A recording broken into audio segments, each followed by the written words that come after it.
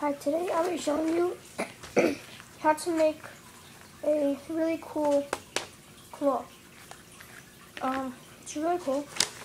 So you have a piece of paper, uh, rectangle, and fold in half like that. Okay. After you do that, get this point right at the end, so it looks like a triangle like that.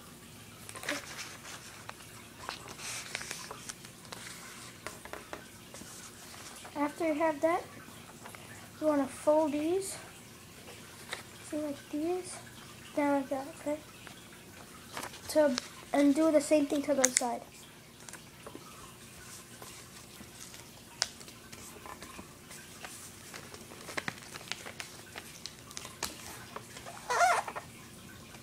And then after you do that, you fold it up. So, so there's a little that, and it's supposed to be like that, okay? And then we want to do, after, you just hold it together like, like that, okay? And open it again. Now you see a line. Now we want to do, so when you have the line like this, you want it to, you want to yeah. So when you have this, you want, okay, so the cut is facing by me. So what you want to do is to, to this, fold it down like that.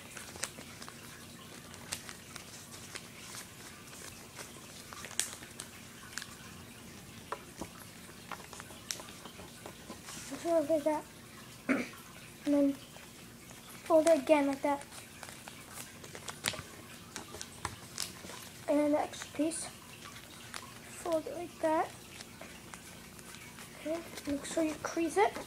and after you open it, there's gonna be a little pocket right here. So open a little, put this, see this part inside the hole. So it's like this. And then crease. And then that's where I went in. After that, you made your claw. Now you'll see inside of here, you just want to open it. There's like two spots that you can put your finger in. So that's the claw. And I made five other ones. So I'm to try it out.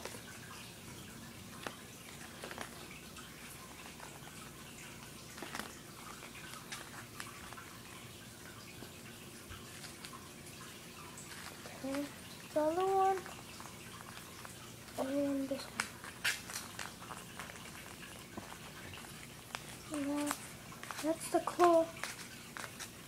It's really cool.